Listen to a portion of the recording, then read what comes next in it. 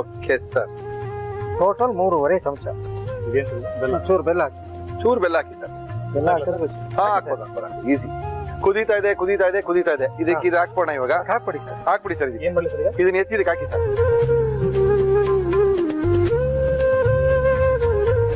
Stove ಹಚ್ಬಿಡಿ sir ಈ ಕೆಲಸ. ಎಸ್ ಬ್ರಾಹ್ಮಣರ ಶೈಲಿಯ ಅಯ್ಯಂಗಾರರ ಶೈಲಿಯ ಬಿಸಿಬೇಳೆ ಬಾತ್. ಬಿಸಿಬೇಳೆ ಬಾತಿನ ಕತೆ ಮುಗಿದಿದೆ ಹೆಚ್ಚು ಕಡಿಮೆ. ಸ್ವಲ್ಪ ನೀರ್ ಹಾಕಿ ಸರ್ ನೀರ್ ಕೇಳುತ್ತದು ಇನ್ನ ಕೇಳುತ್ತೆ ಇನ್ನ ಬೇಕಾದಷ್ಟು ಬೇಕಾಗಿತ್ತು ನೀರು ಅದಕ್ಕೆ ಹಾಕಿ.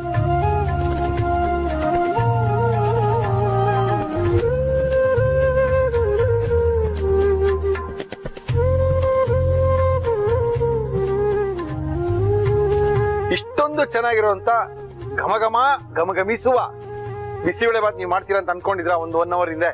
ಖಂಡಿತವಾಗ್ಲೂ ಇಲ್ಲ ಸರ್. ನೋಡಿ ಇದು ನೀವು ಮಾಡಿರೋ ಸರ್ ನಾವ್ ಯಾರು ಮಾಡಿರೋದಲ್ಲ. ನಿಮ್ಮ ಶ್ರಮ ಈ ಬಿಸಿಬೇಳೆ ಬಾತಲ್ಲಿ ಇದೆ ಖಂಡಿತ ಸರ್. ತುಂಬಾ ಚೆನ್ನಾಗಿದೆ. ಸ್ಮೆಲ್ ಕೂಡ ನೋಡಿ. ಅದ್ಭುತವಾಗಿ ಬರ್ತಾ ಇದೆ. ಎಸ್ ಸರ್ ತಿಂದ್ಮೇಲೆ ನನ್ನ ಮಡದಿ ಖಂಡಿತವಾಗ್ಲೂ ಖುಷಿ ಆಗ್ತಾಳೆ ಅನ್ನೋ ಒಂದು ಭಾವನೆ ಒಂದು ಹೋಪ್ನ ಇಟ್ಕೊಂಡು ಇದನ್ನ ತೊಳೋಗ್ತೀನಿ.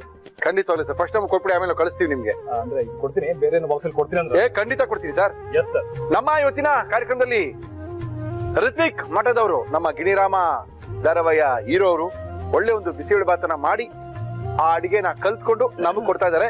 ಇದನ್ನ ಯಾವ ರೀತಿ ಮಾಡಿದ್ರು ನಮ್ಮ ಇವತ್ತಿನ ಕಾರ್ಯಕ್ರಮ ಮತ್ತೊಮ್ಮೆ ತೋರಿಸ್ತಾ ಇದೀವಿ. ನೋಡ್ಕೊಳ್ಳಿ, ಇವತ್ತೇ ಬಿಸಿಬೇಳೆ ಬಾತ್. ಬಿಸಿ ಬೇಳೆ ಬಾತ್ ಮಾಡುವ ವಿಧಾನ, ಒಂದು ಕುಕ್ಕರ್ಗೆ ನೀರು, ತೊಗರಿ ಬೇಳೆ, ಬೇಳೆಯ ಎರಡರಷ್ಟು ಅಕ್ಕಿ, ಅರಿಶಿನ, ಎಣ್ಣೆ ನವಿಲುಕೋಸು ಹುರುಳಿಕಾಯಿ, ಕ್ಯಾರೆಟ್, ಆಲೂಗೆಡ್ಡೆ, ಕಡಲೆಕಾಯಿ ಬೀಜ, ಟೊಮ್ಯಾಟೊ, ಇಂಗು, ಉಪ್ಪು ಬಟಾಣಿ ಹಾಕಿ, ಮುಚ್ಚಳ ಮುಚ್ಚಿ ಎರಡು ವಿಷಲ್ ಕೂಗಿಸಿ. ಒಂದು ಬಾಣಲಿಗೆ ಎಣ್ಣೆ ಹಾಕಿ ಅದು ಕಾದ ಮೇಲೆ ಕಡಲೆಬೇಳೆ, ಉದ್ದಿನಬೇಳೆ, ಇಂಗು, ಧನಿಯಾ, ಕರಿಬೇವು, ಬ್ಯಾಡಗಿ ಮೆಣಸಿನಕಾಯಿ, ಗುಂಟೂರು ಮೆಣಸಿನಕಾಯಿ, ಮೆಂತ್ಯ, ಚಕ್ಕೆ, ಲವಂಗ, ಏಲಕ್ಕಿ, ಕಾಳು ಮೆಣಸು, ಒಣ ಕೊಬ್ಬರಿ ತುರಿ ಹಾಕಿ ಹುರಿದು, ತಣ್ಣಗಾದ ಮೇಲೆ ಮಿಕ್ಸಿ ಜಾರ್ಗೆ ಹಾಕಿ ಹುಣಿಸಿ ರಸ ಸೇರಿಸಿ ರುಬ್ಬಿಕೊಳ್ಳಿ.